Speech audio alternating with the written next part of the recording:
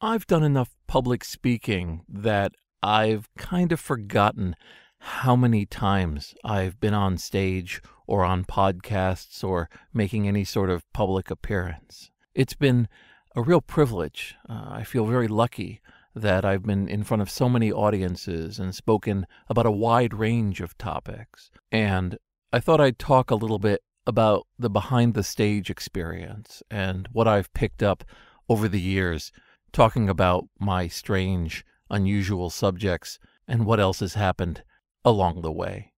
This is Jason Scott Talks His Way Out of It, a podcast about technology, history, and getting myself out of debt.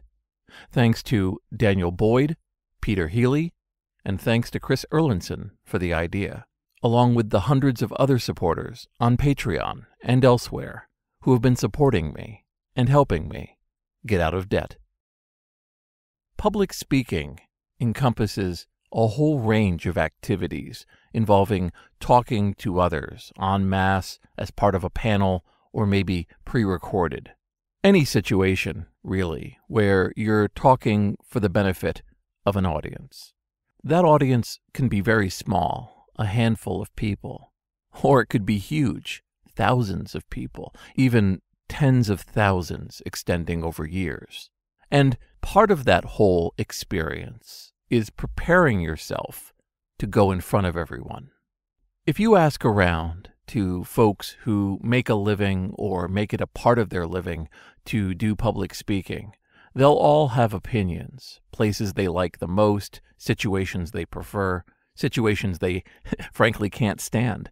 And each person will give you hints, tips, what to do in their opinion when you find yourself in that situation. I'm going to give you mine, but I have to stress the most important tip that I can possibly give you is that nobody is exactly you. You have a character, a spirit, a unique way of looking at the world.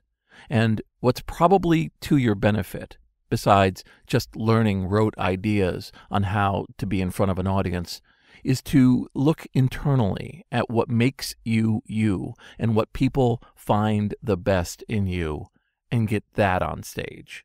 No amount of suggestions and stories I give you would ever top that. I've been comfortable speaking in public for a very long time. I was an incredibly quiet kid before 15, but after 15, when I moved in with my dad and had a chance to reinvent myself at a high school, I found that I loved being in front of crowds. I was able to stand in front of 300 people and run for class president, and stand in front of 1,200 people and run for school president, not with any intention of winning, but just because I liked the idea. By the time I got to my senior year, I was the school announcer, reciting the Pledge of Allegiance every morning. Nothing about any of it made me nervous. A talk and presentation that I gave at DEF CON 7 in 1999, where I spoke about textfiles.com. Even though there had been previous hacker conventions all the way through the 90s, and I'd been invited to many of them, I wasn't comfortable being a target like that. But by 1999, whoever was running textfiles.com was already a target, so I didn't see much harm in it. And what I found was that I loved everything about public speaking. I loved watching people assembling, knowing that they were all assembling to listen to me. I loved the sound of the crowd waiting. I could hear them preparing to listen to whatever I was saying, and if I was lucky, I could hear someone talking about me and introducing me to the audience. I loved the fact that the audience felt like a wave. I could feel the emotion of the audience swelling up, and I would paddle along with them, adding more and more details to my story until sometimes, completely unscripted, I would crack a reference or a joke and it would land. It would land as easily as if I had thrown a bowling ball into a bathtub, just a splash and a crash everywhere. And that was something I had done to them and then slowly afterwards build up to the next crescendo and the next one. To me, public speaking engagements are like concerts or songs. You are on stage to bring knowledge and bring information, but you are also bringing entertainment. A public speech, one where it's one person talking through to a large audience, is one of the most inefficient ways of transferring information that you could imagine. You have a single person moving through a thread and there's no time to focus on one subject. You have to walk a path, going from one subject over to another, and hopefully, if you've written it right or if your knowledge of it is sufficient, hit some sort of theme that people walk out somewhat enlightened. But if you take the speech and transcribe it down, it won't be very many words, not compared to what someone could have read in that amount of time. There's a pretty standard blog entry that's been around for around 15 years now, pointing out how incredibly inefficient podcasts are. That if you take the words and put them out, it'll be a, few paragraphs, but you had to listen to it for 20 or 40 or 60 minutes. And the conclusion they reach is that at the end, you're left wanting, that you could have gotten so much more out of that time, but you in some way wasted it listening to a podcast. This is adorable fodder to make hay with, but in fact, it's not accurate because podcasts and public speaking are performances.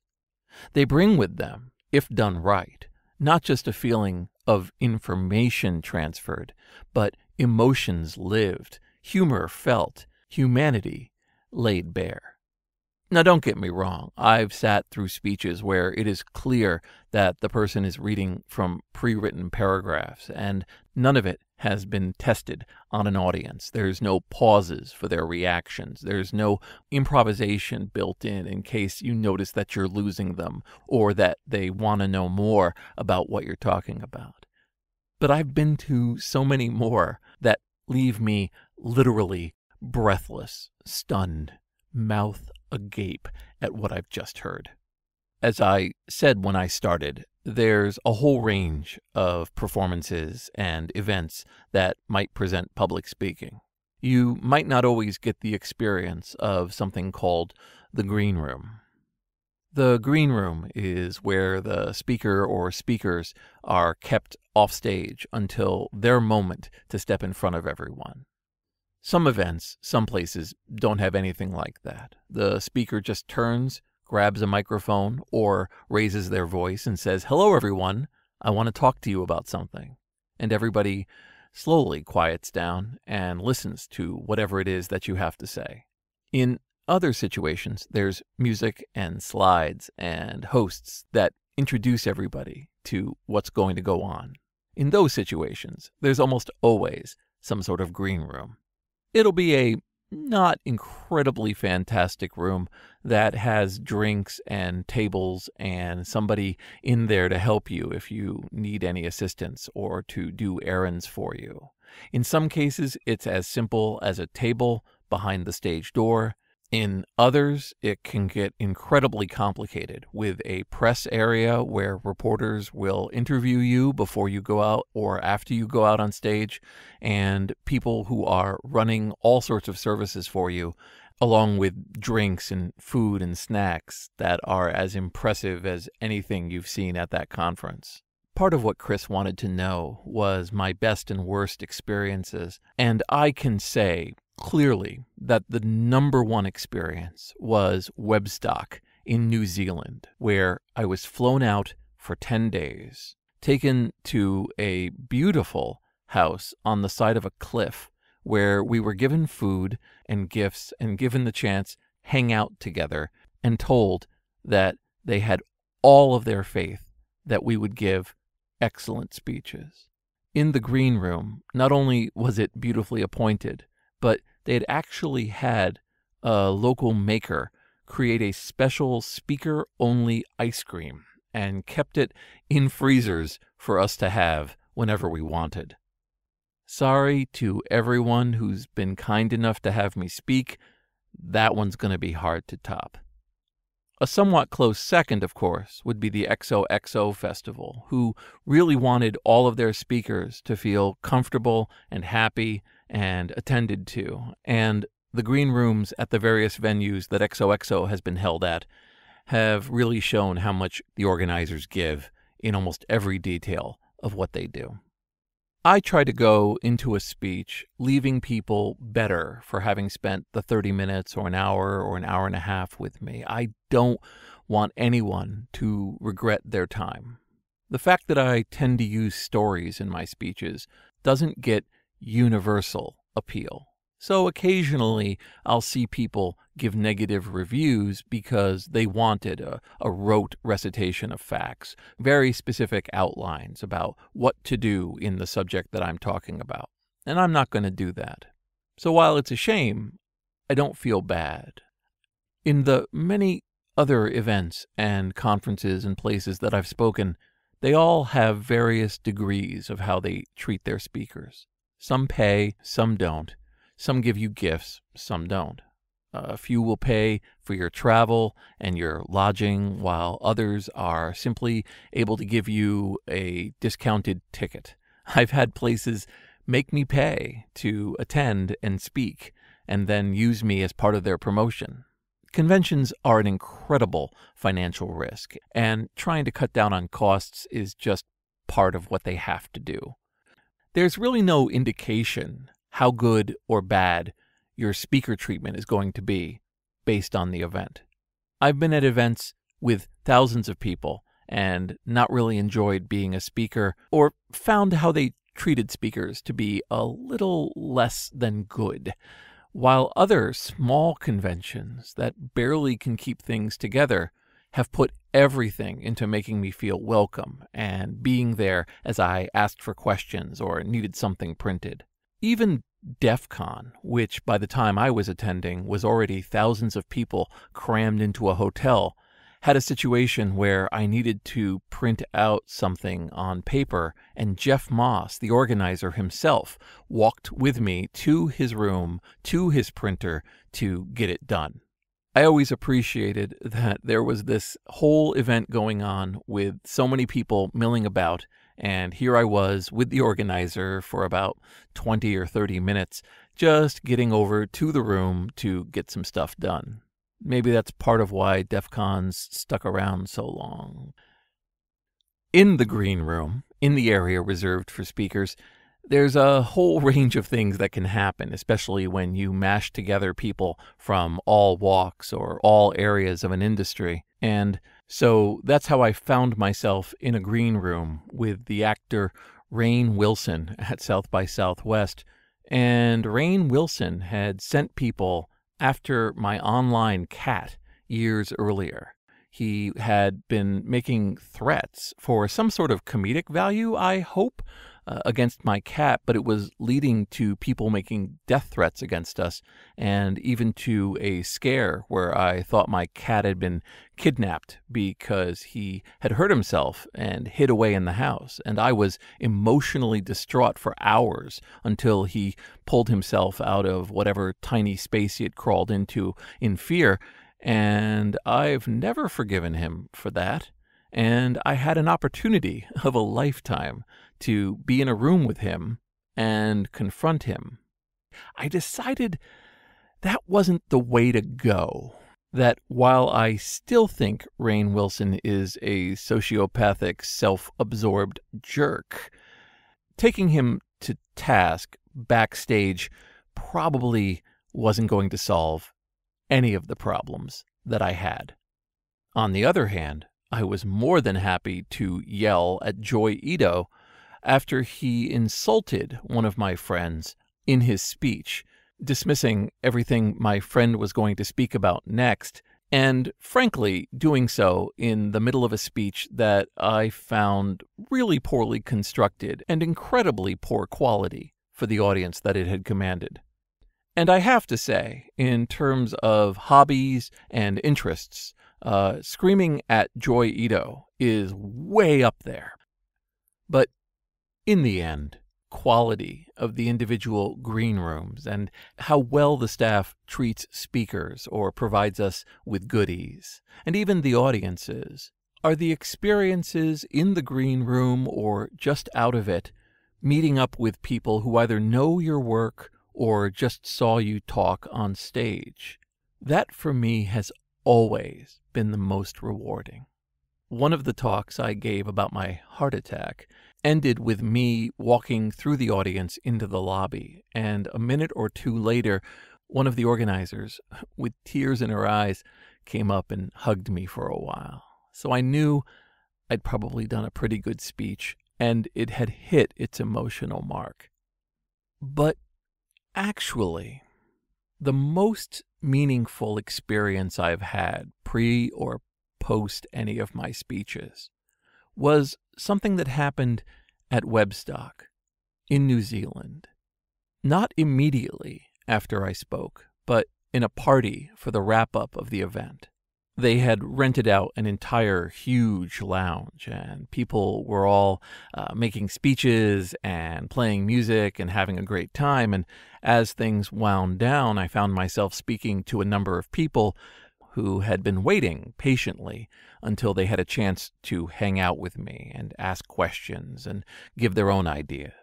And there was one gentleman there who was talking to me, and he was telling me how he had also come from New York and he had been living in New York City when he and his girlfriend uh, decided that they were going to move to New Zealand because a job had come up. And so they had traveled to Seattle and were preparing to go to New Zealand for his work uh, when the 9 11 attacks happened. And when he told me that, he looked at me, someone who was from New York, and I could see something building in him. And he looked at me more closely, and then he started to cry. Just a wordless sobbing. And I gave him a hug and I held him in this restaurant while people were filtering away and just let him cry. He was crying because he had not been able to share any of this feeling with anyone in New Zealand. There wasn't anybody who would understand like he felt I understood coming from New York. And he cried for a while and then slowly recovered, wiped his eyes, and he thanked me.